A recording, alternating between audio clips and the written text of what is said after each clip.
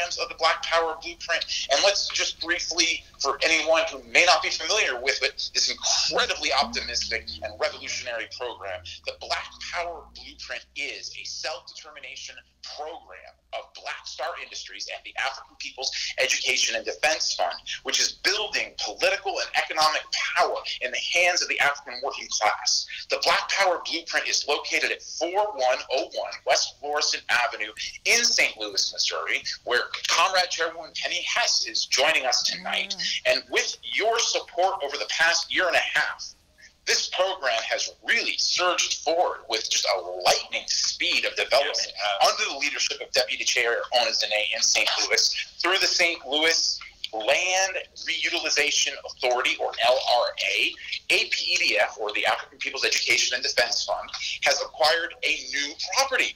It is located at 4368 College Avenue, just a few blocks uh, down from Florissant Avenue from the Uhuru House. And the Black Power Blueprint will be demolishing yet another condemned building and will use the land for future projects. The Black Power Blueprint is working again with Andre and Trish Heron of the JAF Construction, who are applying for demolition per- permits at 4368 College Avenue. So JAF Construction yes. is coordinated uh, has coordinated the demolition of the properties across the street from the Uhuru House at the uh, home of the, the, future One Africa, One Nation marketplace and uh, Gary Brooks Community Garden the third floor of the St. Louis Uhuru House has gotten its finishing touches as it well. It looks amazing. It looks beautiful. Did you want to say anything about that? Having uh, no, I, been there? I have the honor of seeing it. It looks amazing. It's shiny and beautiful, and being set up for offices and just looks spectacular. Fantastic. You know, I, I love during the convention, uh, Chair Jesse noted that the setup for the convention, there was virtually no work involved because it's so stylish and so, so nice. beautiful as it is constructed. It is a gorgeous space, and I am certain that the third floor is equally beautiful. So Chantel, who owns, and forgive me if I'm not pronouncing your name correctly, uh, who owns Butler Painting did the final staining, painting, and hanging of blinds and curtains.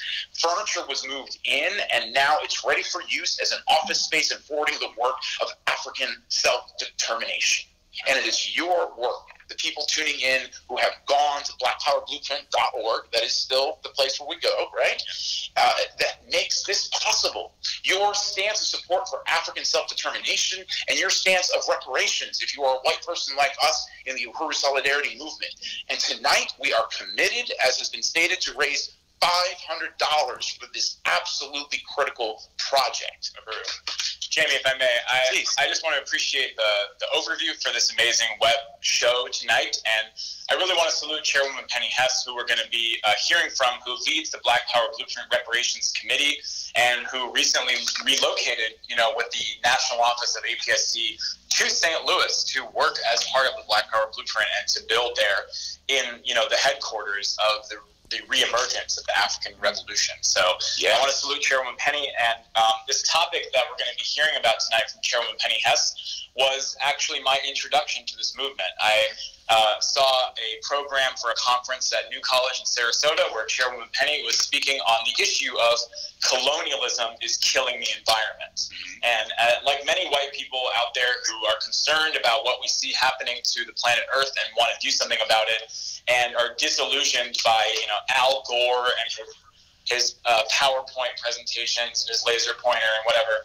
Um, and and we want something real. You know, this was a breath of fresh air. I remember when I saw uh, this presentation. So I'm very excited for that tonight. And before we turn it over to Chairwoman Penny, I do want to um, let people know that we have people tuning in right now. We want to thank all of you who are watching. We have people tuning in from Spokane, from Boston. We have uh, St. Louis, Louisville, Kentucky, Gainesville, Florida, Asheville, North Carolina, and we also have Trinidad in the Caribbean, so Peru, um, as well as uh, St. Pete. We have people tuning in online from St. Pete, and we also have a live studio audience. that has pulled together our live studio audience had a meeting before this web show and we agreed to make a matching a collective matching fund of $100 so um, basically what we're saying is that we want to get we want to encourage everybody here to contribute up to at least $400 and then we will put in the final 100 to top it off, and then we can even go beyond 500 because the resources are urgently needed for these critical projects. And I do want to appreciate Janice Kant, who got us started with $50. So, Uhuru to uh, Janice Fantastic. That's right. As much as you, as soon as you get us to $400, that 400 unlocks itself and magically becomes Five hundred dollars. yes. They're the mysticism. Unlock the magic fund. That's right. You can make that happen. And how do people do that? Uh, you go to blackpowerblueprint.org is how you do it. There's no magic or mystery to it. You pull out your debit card, you punch in your numbers, and reparations to the Black Power Blueprint. And again, this is um, this is what this is about. This is actually we're going to understand by the end of this program tonight. You're going to understand how the real stance in defense of the environment and the resources of the planet Earth is the Black Power Blueprint. Yes. That is the answer. So true. And we, we want to turn now to a presentation. I really want to echo Chair Jesse's salute of Chairwoman Penny Hess, Chair of the African People's Solidarity Committee, the original organization for white people who yes. wanted to uh, answer the call to not just become allies, not just to be a support group, but to actually join the strategy of the African Revolution and become an integral part of it. And Chairwoman Penny took on that call from 1976, and she has never looked back. Yes. And without that stance, I seriously doubt whether we would be here today. Right. So we cannot overstate that. And we want to turn to a presentation now by Chairwoman Penny Hess of the African People Solidarity Committee. Penny Hess, who has written and spoken extensively on the issue specifically of climate change and environmental destruction as a symptom of colonialism for decades. Chairwoman Penny Hess, it is so great to have you here joining us yeah. live from the host city of the Black Power Blueprint in St. Louis, Missouri. The Uhuru Chairwoman Penny Hess. Uhuru Chairwoman Penny. Uhuru. Really great to be here. Uhuru, Comrade Jamie, Uhuru Chair Jesse. It is uh, very powerful to be able to be part of this tonight and to, especially to be here at the, uh, at the Uhuru House, Akwaaba Hall, um, as the centerpiece, as has been said, of the Black Power Blueprint here in north side of St. Louis at 4101 West Florissant Avenue and that this uh, program, the Black Power Blueprint, is unique in the entire United States and in the world in that it, this is about the empowerment and dual and contending political and economic power in the hands of the African working class. This is what is going on here. It is led by the African People's Socialist Party. So um, you know, first of all, I want to join in saluting Chairman Omali Yeshitela, who is the chair of the African People's Socialist Party, and who, by the way, um, he, he, spoke at, at Oxford in a debate in January at Oxford University in Britain and won that debate hands down. Um, and the video from that, by the way, is going viral and has at least um, 650,000 views around the world. So this is happening even as we're speaking. We can be in a meeting and it goes up by another, you know, 5,000 while, while we're sitting here. So, you know, the word is getting out there and this is circulating on the continent of Africa. People are hearing the chairman's message. So I urge you to go to Chairman Omali Yeshitela's Facebook page if you have not done that. And, um, and you know, you can see these different videos that are, are, are different versions of the videos that are circulating. So, you know, I, I do um, want to salute Chairman Omali Yeshitela, who is the leadership of the African People's Solidarity Committee, who uh, formed the African People's Solidarity Committee as part of the strategy of the African People's Socialist Party to win the absolute and complete and total unification of African people everywhere and the liberation and unification of Africa and all its resources.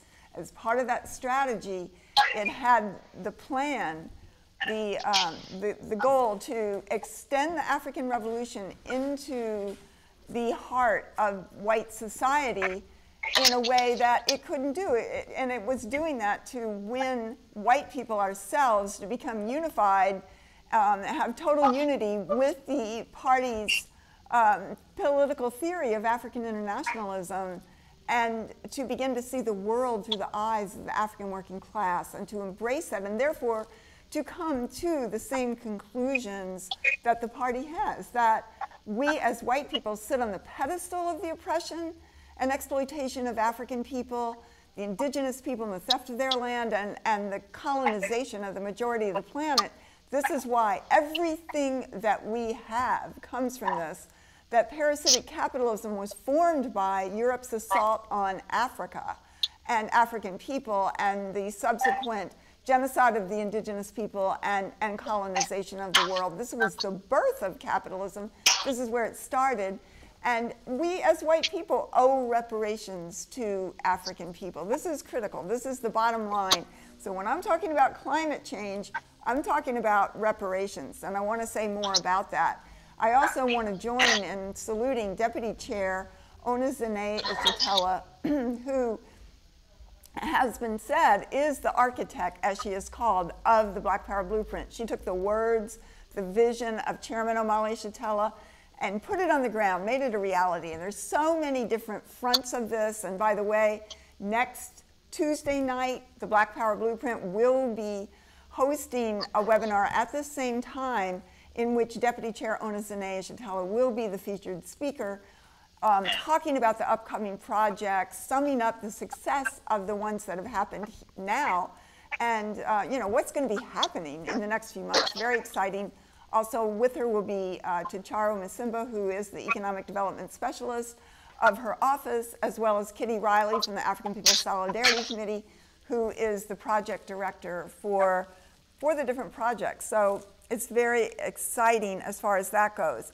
I want to start by saying, you know, when we look at this situation of climate change, there is no difference between any other um, you know, between the cause of this and the cause of colonialism, of terror, of mass genocide, of, of the, the um, slaughter and, and murder and rape and pillage of oppressed and colonized peoples, of African people, and, um, you know, and, basically of the entire planet. It's all part of the same thing. And if we do not see that, then once again, we are, we are struggling for something as a white right because the majority of the planet, of, you know, of this planet, the majority of human beings, the colonized peoples have already experienced extinction, have already been threatened by, you know, for thousands of years by their environment, um, from the bison, you know, and the buffalo of the indigenous people, here wiped out as part of the genocide, to, um, you know, just to even the, what they call the des desertification of Africa, um, the fact that Africa is forced to, to grow monocrops for the benefit of Europe and not to feed their people. I mean, just every single thing that you know we can identify as climate change is a result of the same process of parasitic capitalism. And this we have learned from Chairman Omali Yeshitela. And I want to say here, on the north side of, of St. Louis, this is an amazing, um, an amazing community here, an African community in a town that is 50% African, 50% white, and um, which actually in reality, you know, it's, it seems much greater percentage African, and they often do lie on that. But in any case, the majority of the African community lives north of what is called the Delmar Divide. And that is a very stark difference um, between the conditions in the white community, which are affluent, and which the average white family here has, 100, has assets of $164,000. That's the average. The average African family has less than $16,000. And I, I really believe that that is an overestimation put out because yeah. the national average for the African population is 3,600.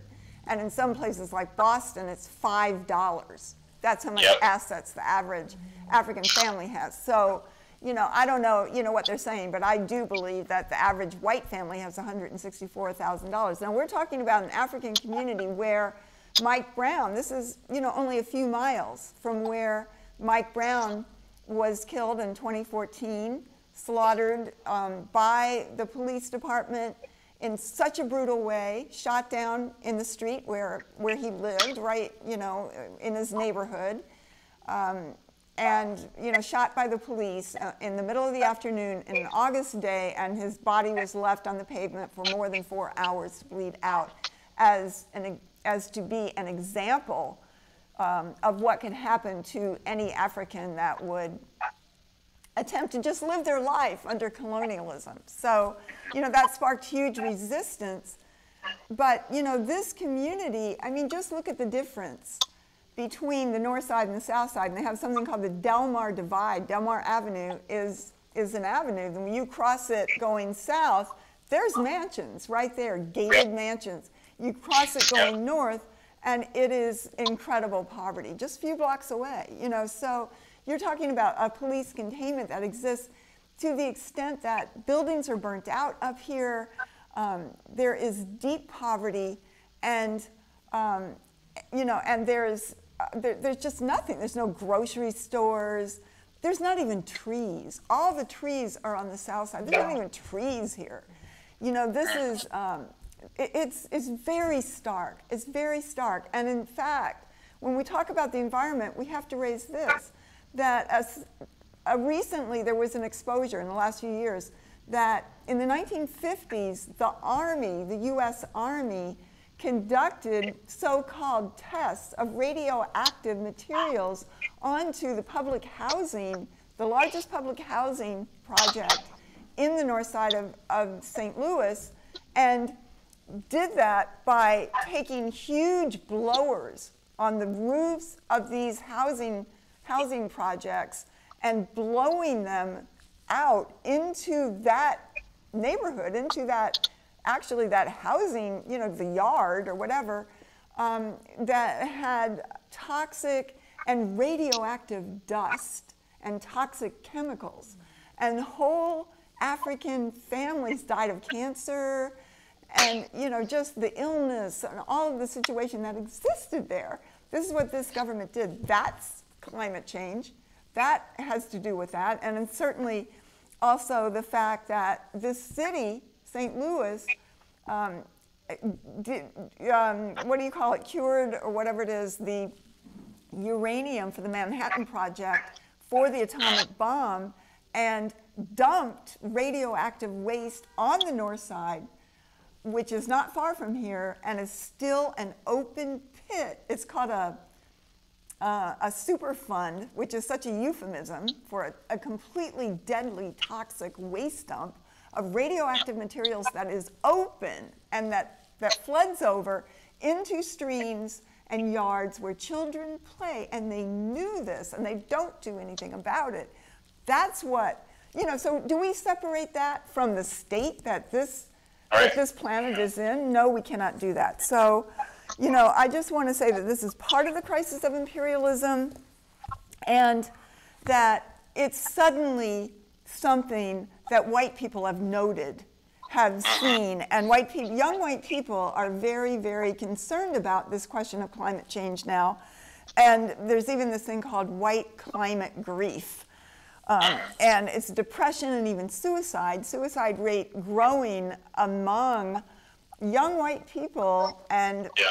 you know because obviously imperialism itself is in a crisis and because the climate's not going to be for this upcoming generation what it what it was even you know certainly for my generation and, and others for white yeah. people so that even what imperialism has done to the rest of humanity we are not separate from that you know this is one planet one ecosystem and of course, we ourselves are, are going to experience this. But this is, you know, this is what imperialism does. So, you know, we can look at the, the yes, there is a very, very desperate um, situation with the climate right now, and it's getting worse every day, every year, and every decade. It is getting worse. We see the, the massive fires like we saw last year in California, but also raging forest fires in the Arctic Circle for the first time ever. Um, in, in Denmark, in Sweden, in, you know, way up in the Arctic Circle, there's fires. They, there's forest fires going on there. They've never had that before. We see storms, unpredictable weather, which we certainly have here in St. Louis. We see droughts, we see floods. Um, we just, we just, it's just constant. It's constant, you know, that we're seeing what this is doing. And what we see is scientists, white European scientists saying that this, this climate change is abrupt and it's all happening so much faster than they thought.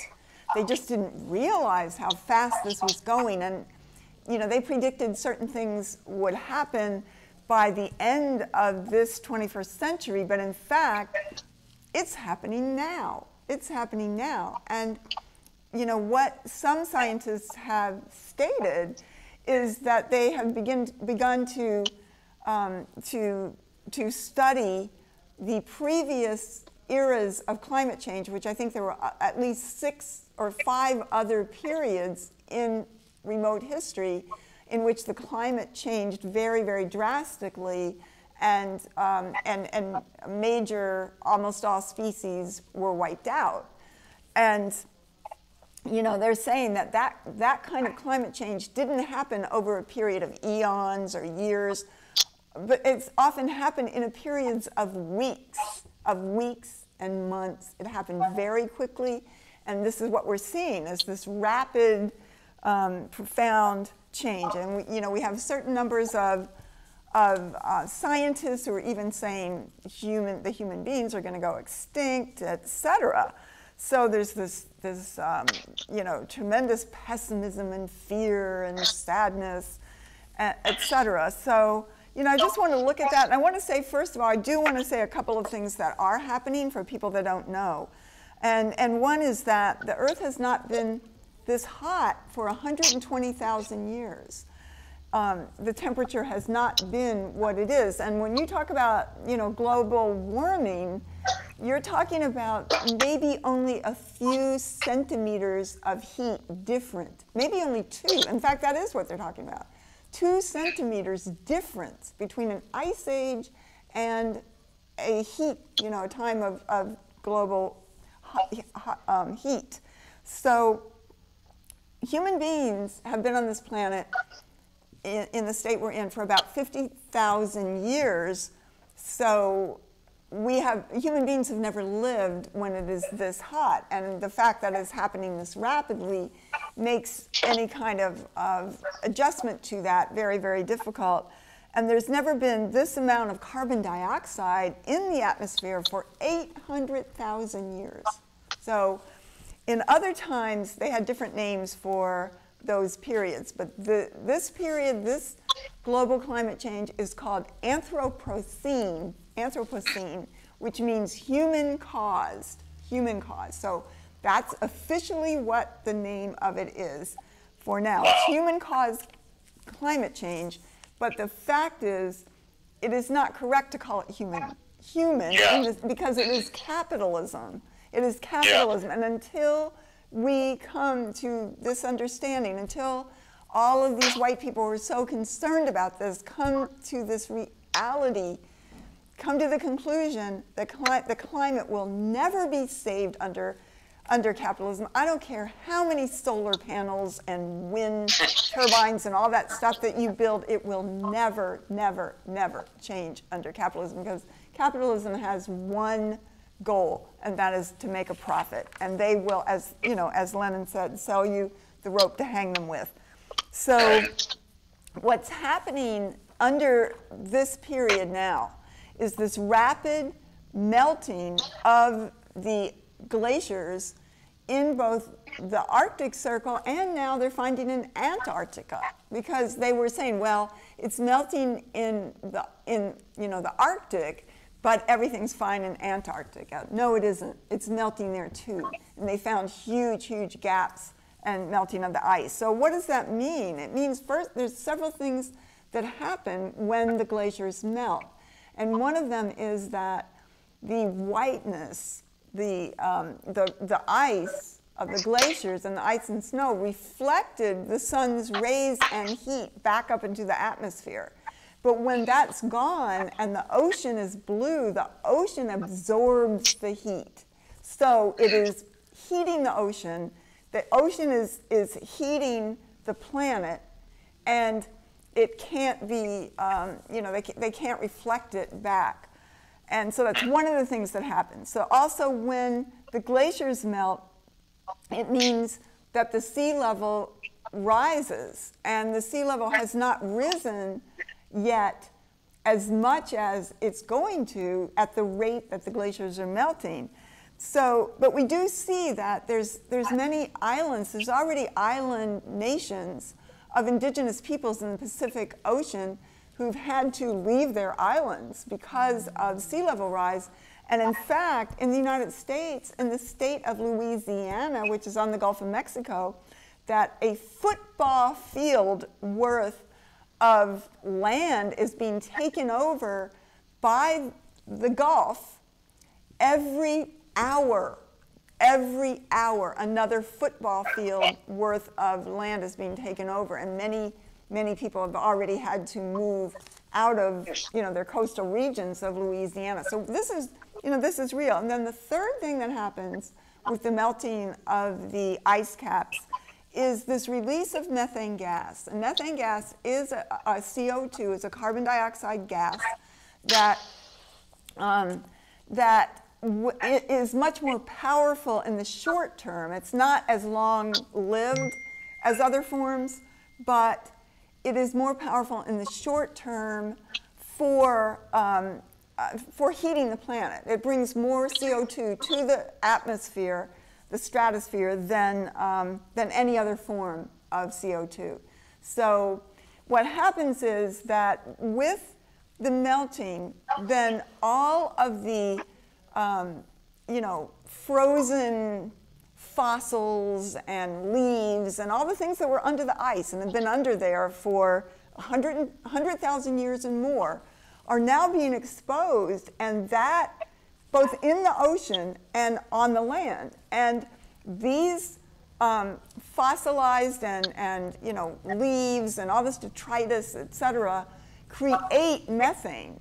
And they are the greatest purveyor of methane in the world right now. And as this melts, as the ice melts, they shoot off this methane into the stratosphere and, and it's much more intense. And they're saying that there's so that in fact certain seas in the Arctic are bubbling with this methane. They're bubbling with the methane. And if this methane would do a rapid release, which is highly probable, and many scientists have said it could happen, that would in itself would warm, abruptly warm the planet um, by several degrees. So, you know, so there's very serious problems to solve.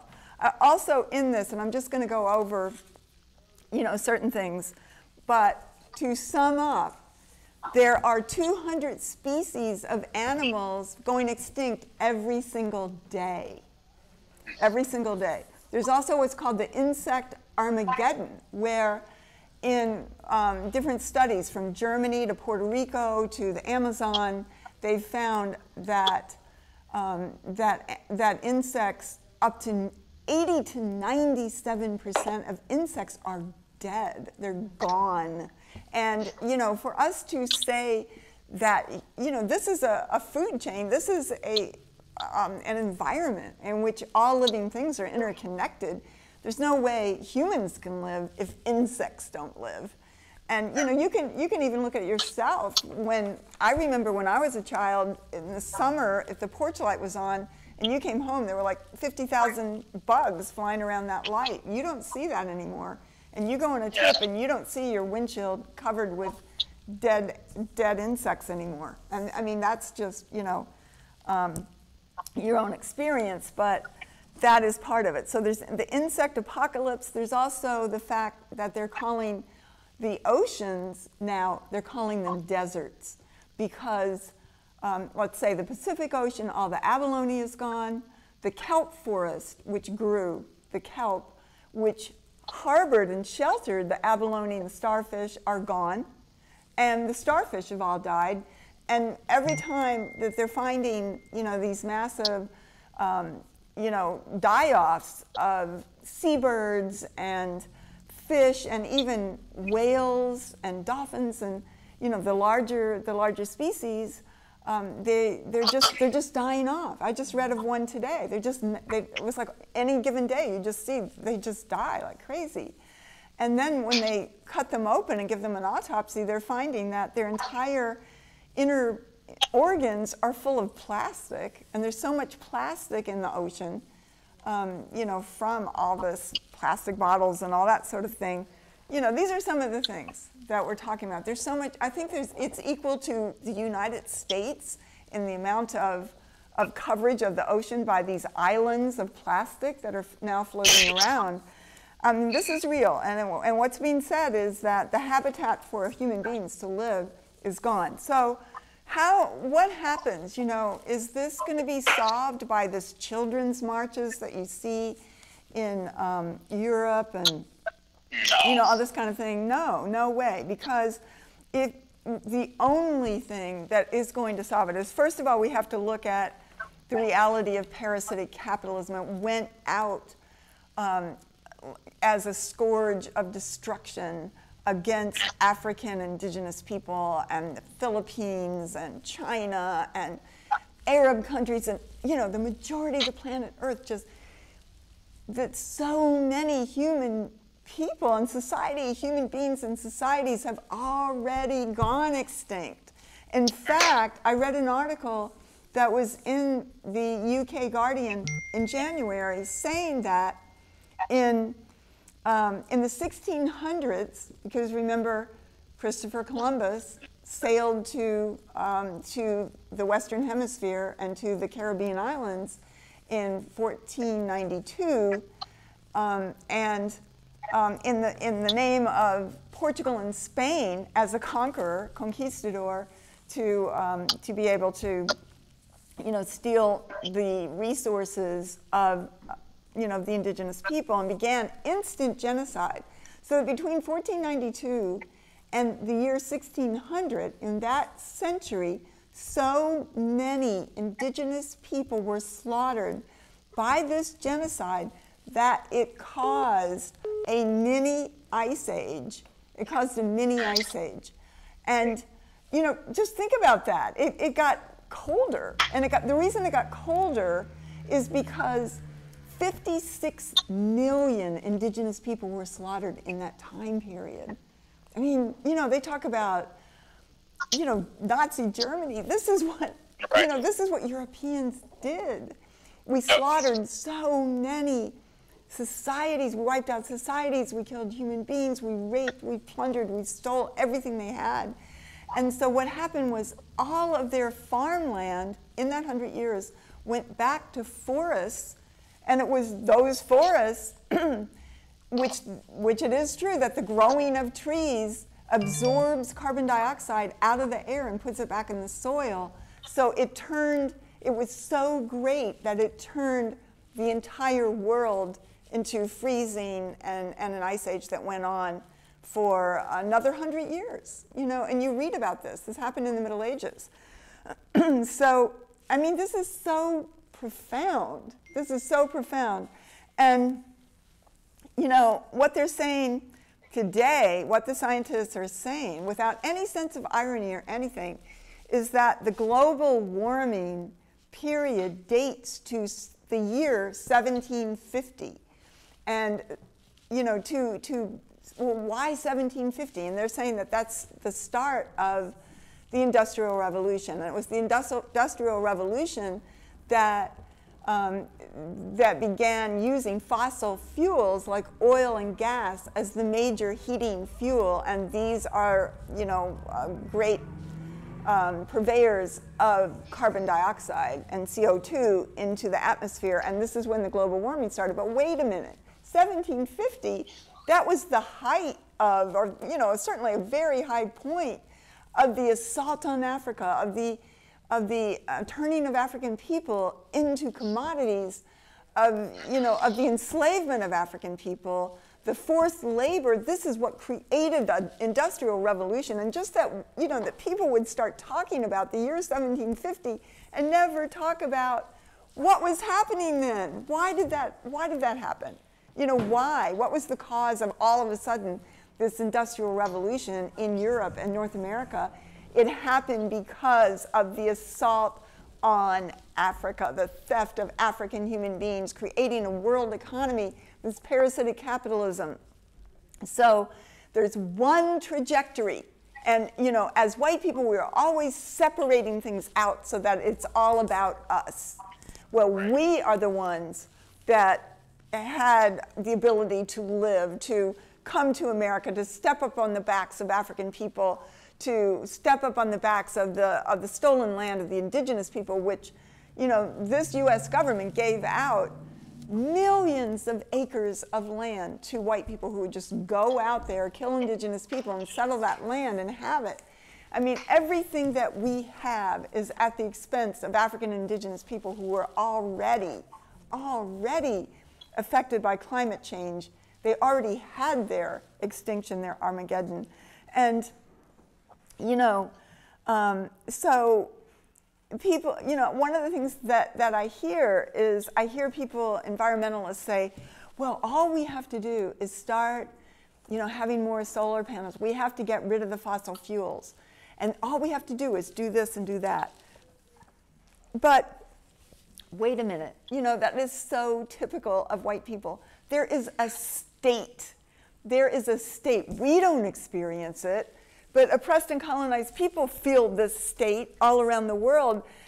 A colonized people inside the borders of the United States feel the state, the Pentagon, the bombs. The US has the largest military in the world. We have nuclear power. The US has nuclear power. It has, um, it has drones, it has huge armies, it has arsenals of every type of chemical and biological weaponry, and it uses it on oppressed and colonized people here and around the world. We don't experience it. And you know, like we don't we don't change this economy by just saying, "Oh, let's let's let's do this." No. Because I want to say by the way that the oil industry in the world is 1.7 trillion dollars in profit. 1.7 trillion dollars. That is 3 times larger the oil industry than the revenues of all other minerals and metals combined, three times larger. And we know that the oil industry is all in there in the US state and the Pentagon, the US government. You know, it's number one. They're not going to give up that. There's no way they're going to do that. And, you know, just to say that, I mean, by comparison, Gold, which is the largest metal sales in the entire world, is only one tenth of the revenue of what the revenue is for oil and the oil industry around the world. Illegal drugs, which is huge, but that's only $321 billion. We're talking about $1.7 trillion. Oh, so, you know, you know, just to say that every white child that comes onto this planet uses 35 times the resources of any other child around the world. Any other child around the world. And yet we're talking about climate change. The only way this climate is going to change is for US imperialism to be destroyed. I mean, these people are talking about things like, well, we have to get rid of airplane travel, we have to get rid of all cars. What? Imperialism's never going to do that. We'd have to get rid of the internet. You know, that, that nothing that, you know, that uses fossil fuels can be used. That is never going to happen under imperialism, period. And it's only going to happen through the leadership of the African working class to win back Africa in the hands of the African working class to reunite Africa. And as the chairman has clearly said, that the party is very serious about taking power. That's what they're doing right here in, in St. Louis on the north side. And this is yes. extended into the world arena and into the continent of Africa. And I'll tell you this that all these 650,000, and by tomorrow it'll be a, a, million people who have heard the chairman, many of them are in Africa, and the continent of Africa. This is sweeping it, sweeping that continent, and we will see uh, revolution in our lifetime. And it is never going to be white people. It is never going to be imperialism. It is never going to be capitalism that solves this problem. It will take the entire world and themselves with it down. They don't care. They want their money. They have their bunkers or whatever they think they're going to live in some bunker. But I will tell you this that African and indigenous people have the resilience, they have the genius, they have, they have lived under this assault on their, you know, on their humanity, on their ability to produce, to, to produce and reproduce real life for 600 years. Um, they've, they've found a way to live, to thrive, to have their culture, to fight for their liberation. And this is what is going to change the world. It is never going to be anybody from white power. And the best thing the best thing that we can do if we want to fight climate change is pay reparations to the African yes. Revolution because the African Revolution is taking everybody with them that wants to be part of a new world in which this planet itself can survive because it will be led in the interests of human beings and not profit and not rape and not plunder that this will be the end of war and the ability of the genius of African people whose mere survival was an act of genius to, um, to be able to um, put their, their brilliance into solving this problem and along with the indigenous people of the Americas who were the custodians of the Western Hemisphere and the Caribbean, you know, for 10,000 years and um, you know that there was never a problem with the ozone level and all that kind of thing when, when they had their power over their lives. And when we're talking about you know oppressed and colonized peoples around the world coming to power, destroying white power, we can either be part of that or we can go down in the melting ice with imperialism itself because African people are going to be free. They're going to they're going to liberate this planet and they're going to be able to create a world that solves all the problems that imperialism left them and um, has the ability for a true habitat for all of humanity to flourish once and for all through power in the hands of the African and oppressed working class of the world. We owe reparations. If we put reparations, we return the stolen resources into the hands of the African Revolution, we are saying that is my stand for a world that will survive, a world that will be led, that world of peace, a world of uh, end to war, end of the oppressor and the oppressed. So that is the solution. Reparations to Black Power blueprint, reparations to the African Revolution. That is in our deepest interest. So Uhuru and unity through reparations. Reparations! Uhuru! Uhuru! Many hats. Yeah. Such an honor.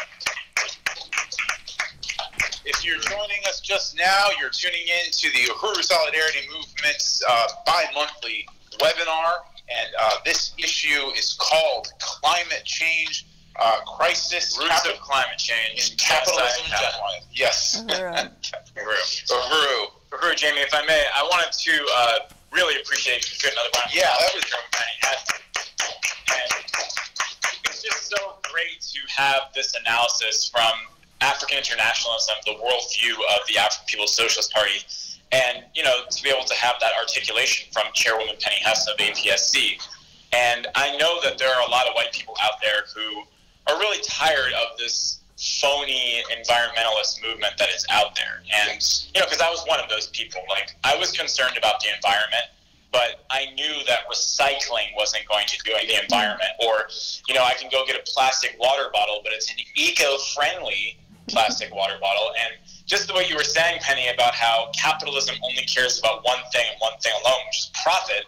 And in the pursuit of profit, they will even they will even co-opt, you know, environmentalism and concern for the environment, and basically become green capitalists. Yes. And um, and you know, if you're one of those people out there who's experiencing climate grief, you are now a market demographic that capitalism will develop new products to sell some sell to you. So um, this is the only analysis that makes sense and that shows that capitalism itself is the problem. And I love what you said that Anthropocene, you know, climate change that is that is a misnomer. It's you know, it's white people, white people, you know, not humans. And that's a line that you see a lot. There's a oh, humans have destroyed the right. planet Earth. Right. Well, humans were doing all right for uh, a long time, thousands of yes. years with planet Earth, while we were, you know, had not yet mastered fire in Europe. So yes, obviously, exactly. that's not the issue. So I really appreciate that that whole analysis, and I unite that for those of us who are genuinely concerned about the environment, you know, we have to pay reparations. We have to stand in solidarity with the African Revolution because even some proponents of capitalism have been forced to admit that to really deal with the climate change crisis would necessitate the overthrow of capitalism. Mm-hmm. But they say it in a kind of doom, gloom and doom kind of way, like we're screwed because the, I mean, if we wanted to deal with this climate change issue, we would have to overthrow the whole system, you know. And it's like, well, yeah, you're right, we would, right. and we're not sad about that. That's what needs to happen, and and African, you know, the African Revolution is what's going to make that happen. So that's why we're having this this web event to raise reparations for the Black Power Blueprint. And you know, we also have people tuning in from uh, Bangladesh. So we want to give a shout out to our international yeah. audience tonight. and we wanted to salute Pete Yarashuk, who put in $25. A Uhuru to Pete Yarashuk. So we have San Francisco watching tonight. David Rold in Boston put in $25. So Woo, David. We have Tama Gadini put in $10. Tama. Tama. We, we expect to be seeing a lot of Tama in the upcoming weeks here in St. Pete. And we also have a, a statement from David Rold. He says, we need black power in order for the world to survive the climate change and pollution that white power imperialist capitalism has created. Yes. Well said. Can you hear me? Wow. Uhuru. Great. So we also have uh, Jackson Hollingsworth who put in ten dollars. A Uhuru to Comrade Jackson. All right. We have uh, Santos here in St. Pete who put in five dollars. Uhuru Woo, Santos. Santos. We have Lisa Watson who put in twenty-five dollars. Lisa Watson. We have Renee Nassar here in St. Pete put in fifteen dollars. Uhuru Renee. Uhuru Renee. And we want to shout out Polly, who is one of our Black Power Blueprint monthly sustainers. And Oh, did you know, right. Jamie, that you can actually sign up as a monthly sustainer to the Black Power Blueprint? That means Yes. you sign up on blackpowerblueprint.org and money comes out of your account every month as reparations to the Black Power Blueprint. You don't even have to worry about it. Every month, you're paying reparations Mhm. on a schedule every single month. So we want to encourage people to do that. Polly is one of our sustainers, so salute to Polly. And I just want to say, Chairwoman Penny and comrades here in our audience, that we have raised $235, All right. which means we only have to raise 165 in only in order to unlock our $100 matching fund. All That's right. right. Well, So I, that- I that want to your- ra- I want to give twenty five dollars tonight.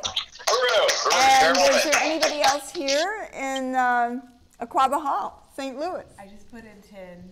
All right. Oh, you put All in- right, hooray, KC. KC. Fantastic. So that's thirty-five Awesome. more dollars towards Yes. the Black Power Blueprint.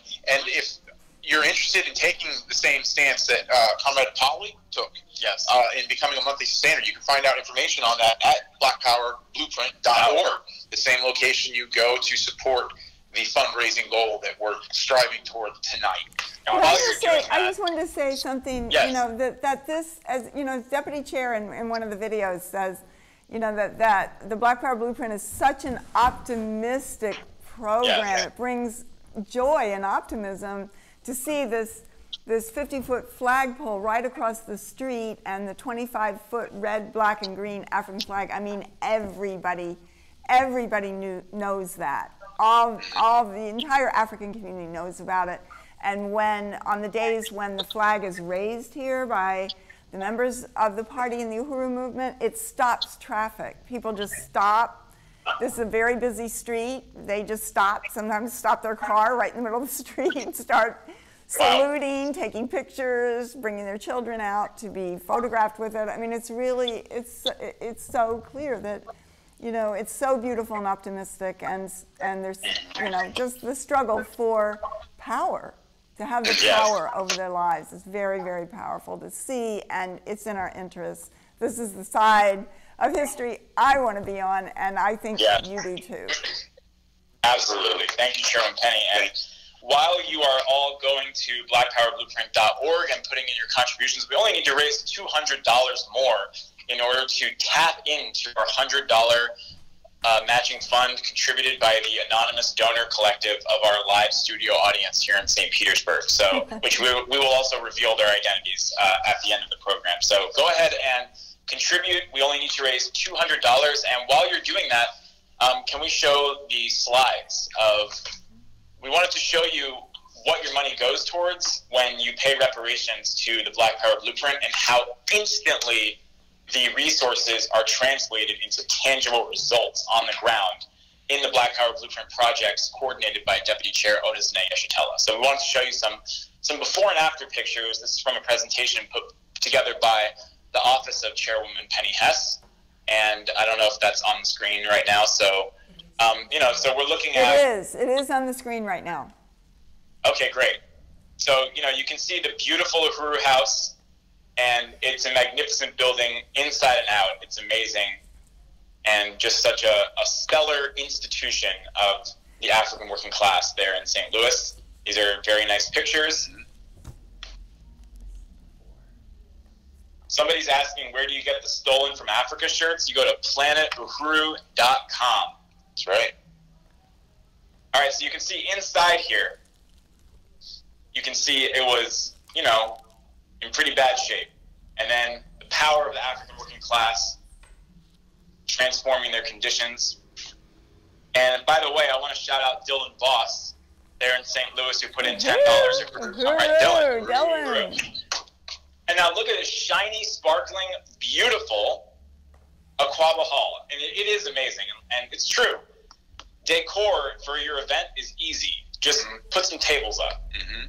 All right, here we go. So this is all right. You see the stage, amazing red, beautiful stage with the African design. I love the brick incorporated yes. in there. It's the length of that building. This is the Black Power blueprint in effect, and this was part of the first phase of the Black Power blueprint. So you can see, okay, then there was the demolition of the buildings. This was in phase two, demolishing two condemned buildings across the street and it took I think around twenty thousand dollars to make that happen. And you made it happen. Those of you who are watching, who contributed reparations to this project, and the end result of that, here you can see they you know brought down the buildings, which is no small feat. African really workers, African contractors. Wow, before and after. Yep. And that's not so, even the final. We have more more changes. Oh yeah yeah, so that's this is before and then sort of intermediate, and then you'll see the most recent stage. So while you're looking at this, if you want to be part of this, if you want to be part of real transformation that is happening under the leadership of the African working class, blackpowerblueprint.org is where you can go and put in your reparations so that we can raise at least $190 more for the end of our web show tonight. So there you see the red, black, and green. Wow. And I just wanted to mention, you know, the red, black, and green is the official African, you know, is the official flag of the African nation, not just in the world, but specifically in St. Louis. You see that flag everywhere. You see that flag painted on trash cans. You see that flag in the YMCA. Mm-hmm. And that's since the Uhuru House has been there you go into the YMCA in the African neighborhood in, in St. Louis, and they have a red, black, and green flag. So it's also flying from City Hall. It's flying in City Hall. In City Hall. Wow. Yes. Yes. Yes. Absolutely. the revolution. Okay, so I would, just, I would just like to say also, if I could, that Uhuru Solidarity Movement or even the Black Power Blueprint Reparations Campaign, we want to make a call to all white people who are in the like the solar panel scene or industry. And how can we feel good about having solar plant et cetera you know that we talk about sitting on the pedestal? But this Uhuru House and all the projects, all the other buildings of the Black Power Blueprint need to have solar panels. Why should they be on the grid yeah. and have to pay all this? I, I really want to call on anybody who does any of this kind of work. Join. You can, you can um, go to usm.org Oh, Uhuru Solidarity, right? You know, solidarity. Can, yeah. What is would be the email? Whatever. You can you can join USM. You can join the Black Power Blueprint. But we we want to outfit this. Everything that more and more white people take for granted on this stolen land, this land that still belongs to the indigenous people, is completely or more and more off the grid. Well, this needs to be here. There is no reason why the African working class has to be paying for fossil fuels and all that kind of thing, and the cost of it, which is so tremendous, when there's all of these resources out there, and we're calling on you, if you have anything to do with this environmental, to, into any gardening resources, self-sufficiency resources, rainwater harvesting, you know, just the solar panels. Let's bring them to the Black Power Blueprint as part of reparations. Let's do that. That would be a powerful thing to do. We want you. We want you to be part of this. That's true. Yes. I, I really salute that the stance that you're taking and what you're calling for, Chairwoman Penny Hess. Um, I, I unite anybody that's making money off of creating clean energy right now. That clean energy needs to go to the African working class. It needs to go to colonized humanity, to the people yes. who primarily have borne the brunt of this environmental destruction that goes hand in hand with colonialism, imperialism, and parasitic capitalism. It's and I, I really appreciate. I want to echo what Chair Jesse said in saluting your presentation, uh, Chairwoman Penny. I, I think so often we hear either on one extreme complete denial, people are mm-hmm. sticking their heads in the right. sand, right. right, and you know, yeah, burying themselves in their bunkers. And on the other hand, you have people like you know crying the sky is falling and there's nothing we can do. Right. Like it's Judgment Day. Right. Your overview is so uh, characteristic of African internationalism mm-hmm. in that it didn't delve into any idealism, yeah. any kind of speculation. Uh, it, it dealt exactly with the facts, but still with that optimistic conviction that solutions exist and can be implemented if we just get rid of this parasitic beast that has its boot on the neck of humanity called white power. Call it capitalism, colonialism. It's the same thing. Call it environmental, uh, climate change.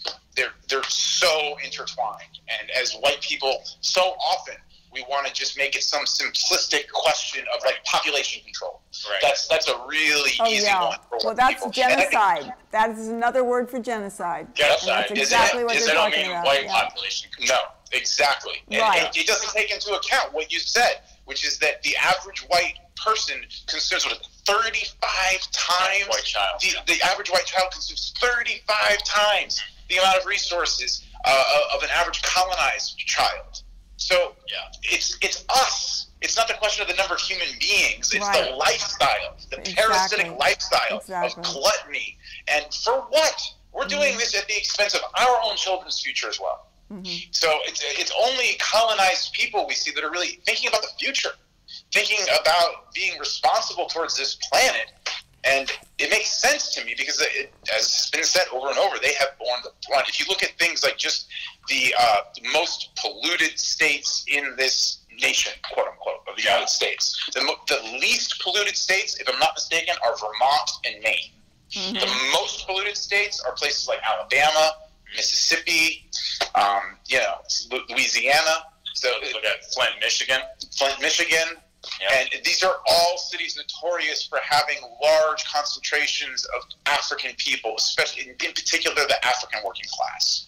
Yeah, and I wanted to just add to that list of cities, St. Petersburg, Florida, yeah. where if you want to see greenwash capitalism at its finest, mm-hmm. you can need look no further than our mayor, mm-hmm. uh, Richard Kriseman, who actually received an award from mm-hmm. some I don't remember what it was, but from some environmentalist agency for being one of the top ten greenest mayors in the in the country.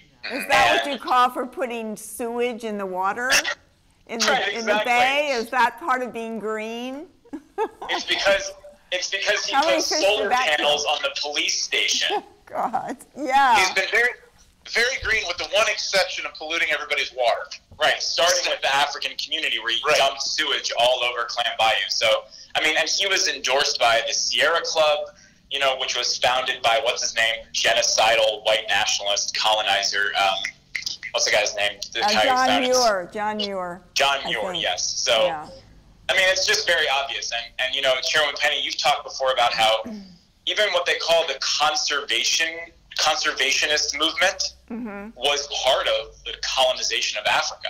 Mm-hmm. And, and, part, part of, of imperialism. Yes. Theodore Roosevelt, one of the biggest, was the biggest conservation who made all the national parks and was there in the go. time of John Muir, and you know used to bring force the indigenous people to dress up in their feathers and ride horses in, in mm. front of uh, 1600 Pennsylvania Avenue um, you know, as the conquest. Oh, this is part of what we, we own. But I, yeah. I just want to say, I just, yeah, I just really appreciate this discussion and to say again and to make it really clear, the answer is not, okay, so what we have to do now is have an individual smaller carbon footprint, right. as call it. I mean, that, that is ridiculous. You know, that's yeah. maybe you you yourself would feel better, but you're still on mm-hmm. stolen land. You're still on the pedestal on the backs of African people. The only thing that is going to change this is to bring imperialism, parasitic capitalism, white power down. And the only thing yeah. that's going to bring it down is the leadership of the colonized African working class in unity with Africans here and around the world and with all oppressed and colonized peoples everywhere. That is the way. White power will never do it. We've always sold out everything, the interests of the entire world for our own bellies and pocketbooks. We're not going to save this. We have to recognize that when African and indigenous people have power, when they're free, that is going to save the earth. That is the only answer. And we owe reparations, and we've got to pay it. So let's make it, let's bring in those solar panels and yes. everything else that we can and bring it to the Black Power Blueprint.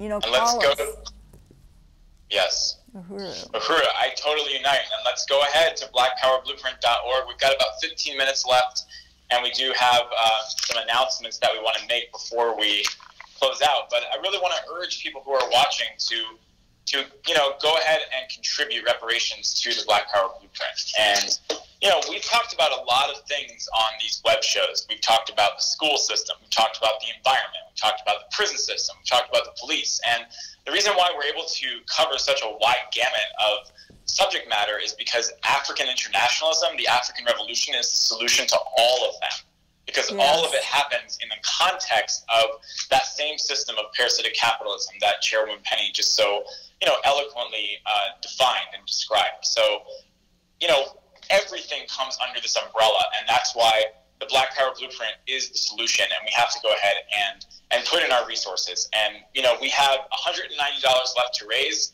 so we really want to urge people to go ahead and we, we want to announce it on the air. So if you're thinking, oh, I'm you know I'm eating right now. I'll come back and do it later. You know, take a break for a second. Come over, put in your donation because yes, we want to thank yes. you while we're live. Yes. Uh, and we can't do it unless we see your contribution come in on blackpowerblueprint.org, and then we get a little text message from our uh, financial whiz, Comrade Amanda. So go ahead and Amanda. make your All for real.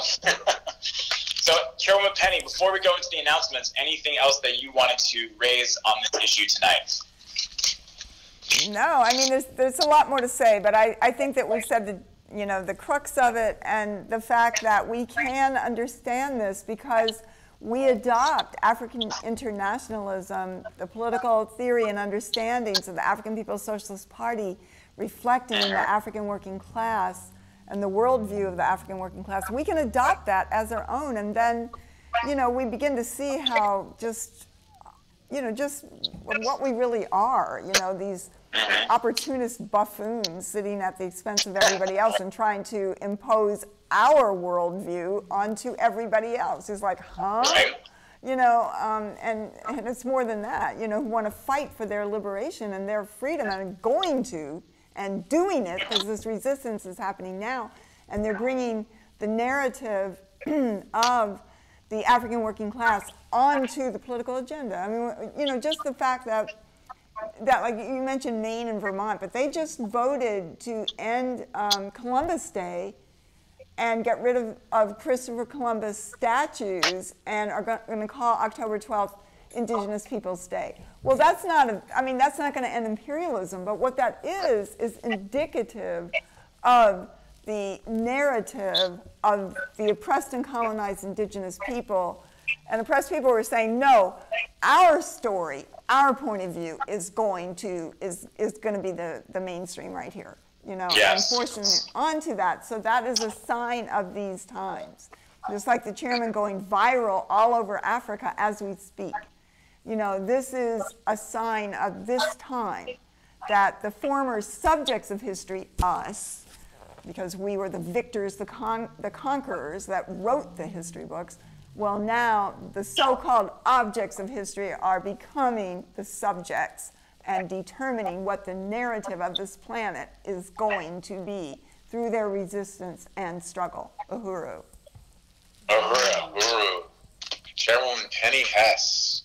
Yes. So if, if this has uh, moved you, if, if you're out there and, and, you're hearing this message, and in particular, I, I, I really want to put forward again Chairwoman Penny Hess's presentation, in particular for its optimism Yes. To be optimistic about the future in, in a world where we're seeing permanent warfare, some mm-hmm. of the mm-hmm. longest open military invasions on the part of the U.S. into mm-hmm. other countries that we've seen in history. Um, some, some of the most dire predictions of environmental collapse.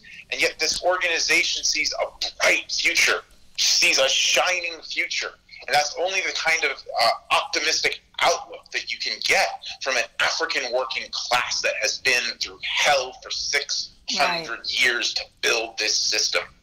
And if yes. you have any delusions that this is not a, an accurate and scientific theory, African internationalism, do the research yourself. See what imperialism has done. That they have known about this problem since at least 1970 since 1990, they've known it in detail mm-hmm. how bad things are. Yeah. And if I'm not mistaken, in the early 90s, they had electric cars ready to go. Yep. That several car companies destroyed. Yes. They mm-hmm. destroyed them to set back electric cars and hybrid cars for at least a decade so they could get everything together and do what? Make sure that it could make them a maximum profit because that is all parasitic capitalism cares about mm-hmm. and it's mm-hmm. all it cares about now. So whatever face it puts on, to whatever extent it, it uh, co-ops, appropriates, the language of the African Revolution, we cannot trust parasitic capitalism. No, the only force on the planet we can trust is the leadership of the African working class, yeah. the colonized mass of humanity, because it's in their interests. It mm-hmm. has always been in their interests. Right. So it just makes sense, and it's it, it's so refreshing to have something uh, to look forward to to be able to look forward to going to blackpowerblueprint.org and making your contribution, putting your feet firmly on the side of colonized humanity, the African working class of the future. That's the only answer for us as white people, as far as I see it. I unite completely. And tonight we are also joined by people in Washington, D.C., including James White, who put in $25. Woo! James. And uh, Ruby Gittleson in Philadelphia uh, is in touch. Um, she's a, a, major supporter of the Black Power Blueprint yes, and longtime member yes. of the Solidarity Movement. And she's trying to put in a contribution, but facing some website difficulties. So hopefully that's not happening to other people as well. Mm-hmm. Um, but we, we plan to be in touch with Ruby and get that worked out because she's attempting to put in $25. So, All right, Ruby. So that means we only have to raise 140 more dollars. Oh my God. In the next That's nine so minutes. 140. In order to bring, in order to unlock our ma- matching reparations fund, All contributed right. by the room of lovely people I am joined by right now. So, um, so let's go ahead and do that. BlackPowerBlueprint.org, and um, if you're having an issue with the website, uh, please let us know as well in the comments, and we want to you know be in touch with you to figure out what's going on. So. Yeah. Um, $140, and I think we have some announcements. So, sure. Uh, while we're going through our announcements, um, please feel free to uh, interject at any time by going to blackpowerblueprint.org and submitting your payment of reparations. And if you want to go ahead and put in $140 and close it out, go ahead. Go ahead. that would be beautiful. Let's let's get on the anti-colonial time clock. Time. Blackpowerblueprint.org.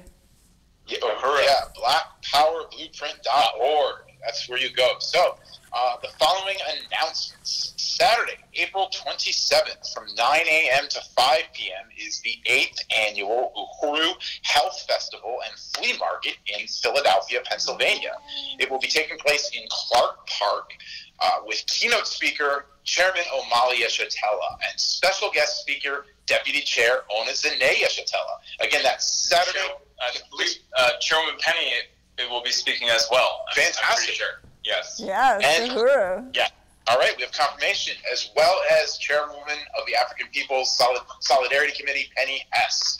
So don't miss that Saturday, April 27th, 9 a.m. to 5 p.m. The Uhuru Health Festival and Flea Market in Philadelphia, Pennsylvania. That's in Clark Park. Eighth annual. That is incredible. It is. It's, wow. it's, an incredible institution. We've met people when we when we go to tables uh, locally here. People from Philadelphia, they know Uhuru Furniture, yep. and, and, they know this flea market and festival. That's amazing. So also on April 27th in Chicago, Illinois, INPDUM, which stands for the International People's Democratic Uhuru Movement or Freedom Movement, is hosting an event titled the Black People's Grand Jury Viewing Rally Justice for Laquan McDonald.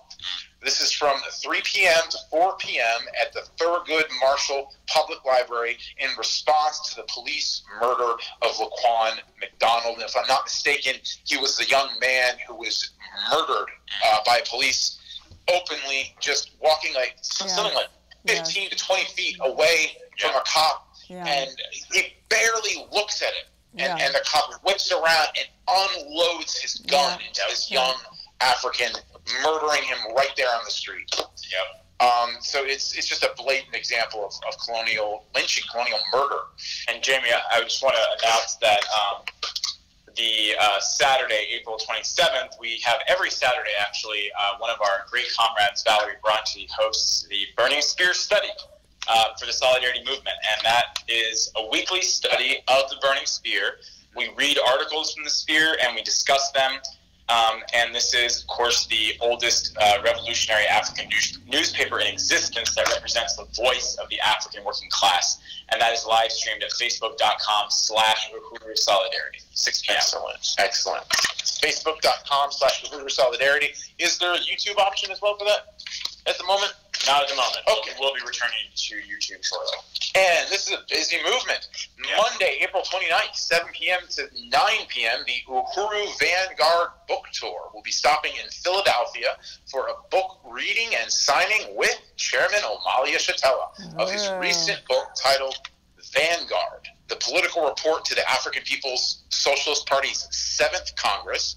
And this is taking place at Uncle Bobby's Coffee and Books on wow, 5445 Germantown Avenue. Yes. That's yeah, that's uh, Uncle Bobby's Coffee and Books on 5445 Germantown Avenue. And that sounds great. It really does. Chance to get the chairman's new book, to get it signed, and uh, meet the chairman there. And again, this is Monday, April 29th, 7 p.m. to 9 p.m. at the Uhuru Vanguard Book Tour that's stopping in Philadelphia. And then right the night after that, is an event hosted by the Uhuru Solidarity Movement featuring our very own chairwoman Penny Hess, which is called Make America Pay Reparations. That will be um, Tuesday, April 30th at 7 p.m. at the community room of the William Way LGBT Community Center, mm-hmm. which is at 1315 Spruce Street in Philadelphia, Pennsylvania. And that will be a multimedia presentation on the true history and necessity of the growing movement for white people's reparations to the African community. Beautiful. And while you're frantically getting out your wallet and going to blackpowerblueprint.org to help us reach our yes. goal tonight, we also want to let you know that Wednesday, May 1st, is Give St. Louis Day. Yes. So Give, St. Louis Day is a 24 hours of online giving intended to shine the spotlight on the St. Louis, Missouri region's nonprofit organizations. And we happen to be raising awareness and funds for one right now. So this will be a great opportunity to increase awareness and a base of support for the African People's Education and Defense Fund, the baddest little nonprofit on the planet. And its mission, its Black Power Blueprint projects in St. Louis. Check it out at APEDF's Give St. Louis Day. That's Give STL Day. Page at apedf.org slash give STL Day. And you can start spreading the word and mark your calendar to donate on May 1st. And just when you thought we were done making announcements, we also want to announce that on Saturday, May 4th, the Uhuru Festival in Oakland, California, taking place in Akwaaba Hall. Uhuru on Health 7, Festival. Uhuru Health, the Health Festival. Yeah. Yes. Sorry. Thank you. The Health Festival. And um, that is happening on, like I said, Saturday, May 4th it's in amazing. Oakland, California, Akwaaba Hall, uh, 7911 MacArthur Boulevard from 12 to 3 p.m. And that includes free health screenings, traditional and alternative health care information and demonstration, yeah. children's activities, food, music, giveaways, fitness demonstrations, and more. So that sounds amazing as well. Don't miss out on that one. But if you should, Thursday, May 16th to Sunday, May 19th, come out to Oakland, California and volunteer with the legendary Uhuru Foods at the San Mateo Maker Faire in Oakland, California. Volunteers are needed for the large outdoor concession booths to support Black Power Blueprint and Black Star Industries projects. And, uh, volu- sorry, um, concessions. This is a, a, great experience to have uh, to be involved with yes. Uhuru Foods. Uhuru Foods and Pies will provide housing and local transportation if you need that. And for more information and to sign up, you can contact Uhuru Foods at 800 578 5157. That's 800 578 5157. Or you can go to Oakland at uhurufoods.org. That's Oakland at U-H-U-R-U foods.org. Uhuru, Uhuru Foods and Pies. All right. All right, Uhuru. Yeah, it continues to grow.